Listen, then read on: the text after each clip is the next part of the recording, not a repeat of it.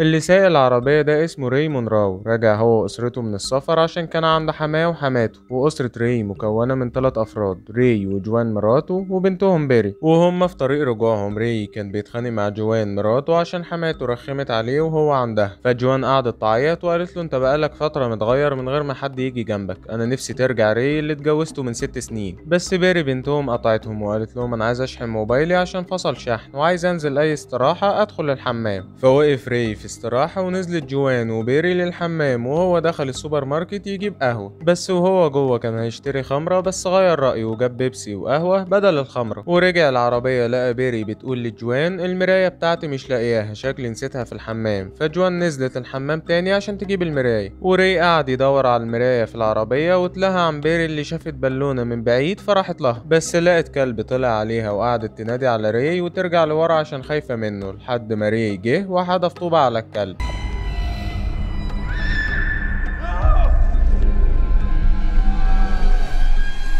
وفقد الوعي وبعد كده فاق بس ما كانش مركز ولقى جوان جاية بتعيط وبيري نايمة في الأرض ودراعها اتكسر. فشالها على العربية وساق بسرعة عشان يروح مستشفى. ودخلوا المستشفى لقوها زحمة فقعد مستني. وجوان قالت له اعمل حاجة البنت بتعيط من الألم. فقام للممرضة قال لها عايز أدخل بسرعة. فقالت له امضي هنا ولما يكون في طبيب متاح هقولك ورجع قعد وجوان قالت له أنا آسفة إني زعقت لك وندهوا عليه عشان يدخل بس قبل ما يدخل للدكتور في موظفة من المستشفى قعدت تسأله أسئلة غريبة. زي شغال إيه؟ وهل للعيلة تاريخ مع المرض العقلي؟ طب حد مدمن على الكحوليات؟ فري قال لها أنا كنت مدمن بس بتعافى حاليا فقالت له ظاهر عندي هنا في بطاقتك التأمينية انك كنت بتعول واحدة تانية غير مراتك. مين دي؟ فقال لها آه ما أنا كنت متجوز قبل كده ومراتي الأولى ماتت من 8 سنين. فالموظفة قالت لهم تحبوا تسجلوا بيري كمتبرعة بأعضائها؟ فجوان قالت لها لا مش عايزين نسجلها. فالموظفة سكتت شوية وقالت لري المستشفى ما بتقبلش نوع التأمين بتاعك. فقال لها خلاص مش لازم تأمين هدفع كاش فالموظفة قالت له تمام الممرضة دي هتوديك عند الدكتور. والممرضة قالت لهم أنا آسفة اللي أخرنا إن الإسعاف جابت اتنين مراهقين خبطهم سواق سكران في حادثة. ودخلوا الأوضة وجالهم دكتور قال لهم إزيكم؟ أنا دكتور بيرثرام وبدأ يتكلم مع بيري ويكشف عليها وبعد كده خد ري وجوان بره وقال لهم هي وقعت على راسها وأنا شاكك إن في إصابة في الراس. وممكن يكون عندها ورم دموي وده بيسبب نوبات صرع أو تشوش بس لازم نعمل أشعة مقطعية برضه عشان نتأكد. وجه بعد كده ممرض اسمه بروس قال لبيري هناخدك تحت عند قسم الأشعة عشان نشوف راسك. ونزلوا كلهم فبروس قال لهم واحد بس يدخل معاها. فري قال لجوان خلاص ادخلي انت معاها وأنا هستنى هنا. فبروس قال له الأشعة هتاخد وقت الأحسن تستنى بره وتقعد عشان ما تقفش كتير هنا. فري قال لجوان خلاص أنا هروح أقعد بره وعمل لها باي وشافهم نازلين بالأسانسير لتحت. وراح نام بره في استقبال المستشفى. وصحي سأل الممرضة هم هياخدوا وقت قد إيه في الأشعة. فقالت له ما عنديش معلومات اتفضل استريح وأكيد هيخرجوا دلوقتي. فقال لها طب أنا عايز دكتور بيرثرام. فقالت له هو خلص شغله النهارده هكلم لك دكتور غيره. فراح قعد تاني لقى واحدة جنبه بتقول له هيجننك صح؟ فقال لها هو إيه ده؟ فقالت له الانتظار. على فكرة جوزي دخل العمليات من الساعة 6 الصبح والساعة دلوقتي 5 ولسه ما خرجش. فقام للممرضة تاني فقالت له مفيش حد اسمه بيري دخل عندنا النهارده. ممكن يكونوا سجلوها بالرقم التأميني. فقال لها أنا مش هدفع بالبطاقة التأمينية أنا هدفع كاش. فقالت له نظام الدفع كاش ده مش عندنا.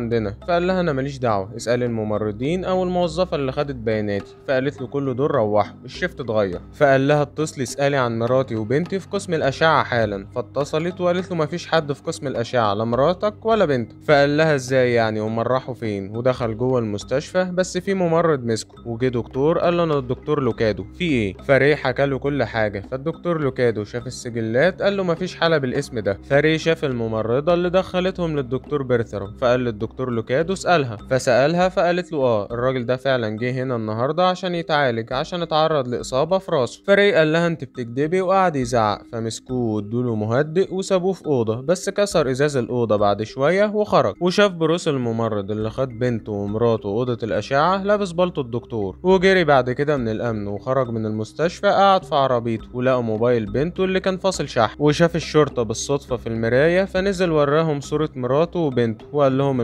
خطفاهم أرجوكوا تعالوا معايا. والشرطة دخلت معاه بس راجل الأمن والدكتور لوكادو نفوا إنهم يعرفوا أي حاجة عن مراته وبنته. فالظابط قالت للدكتور طب استدعي لنا دكتور بيرثرام خليه يجي. وودينا قسم الأشعة. فقال للأمن وديهم قسم الأشعة في الدور الثالث فري قال له على فكرة الأشعة تحت مش في الدور الثالث أنا شفتهم نازلين في الأسانسير. فالدكتور لوكادو قال له تعالى هوريك. وطلعوا الدور الثالث لقوا أوضة الأشعة فوق فعلا. وجه دكتور بيرثرام قال لهم الراجل ده كان هنا فعلا. ودكتور بروس كشف عليه عشان كان عامل حادثة وكنا عايزينه يعمل أشعة. بس مرضاش وقال أنا خارج أستنى مراتي بره وأنا فاكر اسم مراته اسمها آبي. فالشرطي قال له مش قلت مراتك اسمها جوان؟ فري قال له آبي دي مراتي الأولى وماتت وملهاش علاقة بجوان مراتي التانية. فراجل الأمن قال له إحنا هنثبت. بص كده دي كاميرا. ممكن نشوف اللي الكاميرا سجلته النهارده. وراحوا يشوفوا بس كان في خلل في الصورة بتاعت الكاميرا. وراجل الأمن قال لهم هنشوف 30 ثانية من كل دقيقة عشان نظام الكاميرا قديم. والكاميرات ما كانتش جايبة الزاوية اللي كانت جوان وبيري قاعدين فيها فالظباط قالوا له كده مش هنقدر نعمل لك حاجة. ونزل بعد كده عند السراير ولقى شال بيري بس الظابط قالت له الشال عليه دم. الله آه ده دمي عشان وقعت مع بيري وراسي اتعورت. وجات له دكتورة نفسية قالت له تعالى نتكلم. وقالت له كلمني شوية عن آبي مراتك الأولى. فقال لها ماتت من 8 سنين في حادثة عربية وما قدرتش أساعدها. فقالت له أنت كنت سكران ساعتها صح؟ بس مرضاش يرد عليها. فقالت له المهم دلوقتي لازم نروح المكان اللي بتقول إن بيري بنتك وقعت فيه. وخرجت الدكتورة النفسية قالت للدكاترة إنه بيعاني من صدمة وإنها شاكه إن مراته وبنته لسه في مكان الحادثة لحد دلوقتي. وراحوا لمكان الحادثة اللي وقعت فيه بيري ولقوا مراية بيري هناك ولقوا دم كتير. فالدكتورة قالت له ما تقول لي كده إيه اللي حصل قبل الحادثة؟ فقال لها اتخانقت أنا وجوان وكان في كلب بيخوف بيري فرميت عليه طوبة. فقالت له بس أنا مش شايفة هنا أي كلاب أنت متأكد إن كان في هنا كلب ورميت عليه طوبة؟ وقالت له أنا هقول لك إيه اللي حصل. أنت كنت متضايق عشان اتخانقت مع مراتك فحدفت بنتك بالطوبة فوقعت. ولما مراتك رجعت من الحمام شافت البنت ميتة قتلتها هي كمان. ممكن تقول لي خبيتهم فين يا ري؟ بس ري ما ردش والظابط قالت له انت رهن الاعتقال بتهمة القتل. بس وهو واقف شاف الكلب اللي كان مخوف بنته فخد المسدس من الظابط. وخطف الدكتورة وقال لهم امشوا قدامي بدل ما اقتلها. وحبسهم في أوضة وخد عربية الشرطة ورجع المستشفى تاني. ولبس بلطو الدكتور وراح عند الأسانسير اللي مراته وبنته نزلوا فيه بس لقى الأسانسير لازم له مفتاح. فلقى راجل الأمن في وشه فثبته بالمسدس اللي معاه وقال له هات المفاتيح. فحدف له المفاتيح في وشه وقعدوا يضربوا في بعض لحد ما ري خنقه ونزل الدور اللي عيلته نزلته. فلقى ممرضين خارجين بأعضاء بشرية ودخل لقى الشابين المراهقين اللي كانوا عاملين حادثة الصبح مع السواق السكران أعضائهم متاخدة. ولقى الموظفة اللي خدت بياناتهم وافتكر كلامها لما سألتهم عايزين تسجلوا بيري كمتبرعة بأعضائها. ولقى أوضة وفيها دكاترة وهيبدأوا ياخدوا أعضاء بيري. فدخل بالمسدس ولحق بيري ولقى جوان جوه. وقال للدكاترة اقلعوا الماسكات. فلقى الموظفة بتاعه البيانات والدكتور لوكادو هم اللي بيعملوا العملية ومعاهم دكاترة تانيين. وكان هياخد عيلته ويمشي بس مسكوه. وكانوا هيخدروه بس مسك المسدس وضرب نار في جهاز من أجهزة الأوضة. وقتلهم وخد بيري وجوان وخرج من المستشفى وركبهم العربية عشان يروحوا البيت. ومشي في الطريق يغني لهم. بس انعكاس المراية بتاعه العربية كانت جايبة الحقيقة كلها. والحقيقة إن كل ده ما حصلش. الحقيقة اللي حصلت إن اللي خده من المستشفى ده كان واحد من الشباب المراهقين بتوع حادثة الصبح. وكان بيتخيل إن المستشفى بتاخد منهم أعضاء مع إنها كانت بتعمل لهم عملية عادي. وطلع إنه رمى الطوبه على الكلب فعلا بس بنته وقعت وماتت. ولما مراته جت تزعق له زقها وقعت على حديدة وماتت هي كمان. والاتنين موجودين ميتين في عربيته من ورا. وعمل قصة إن المستشفى خطفتهم دي في دماغه عشان يهرب من أثر الصدمة النفسية اللي حصلت له. بعد اللي شافه لما مراته الأولى ماتت في حادثة من 8 سنين ودلوقتي بنته ومراته التانية ماتوا. وتوتة توتة خلصت الحدوتة.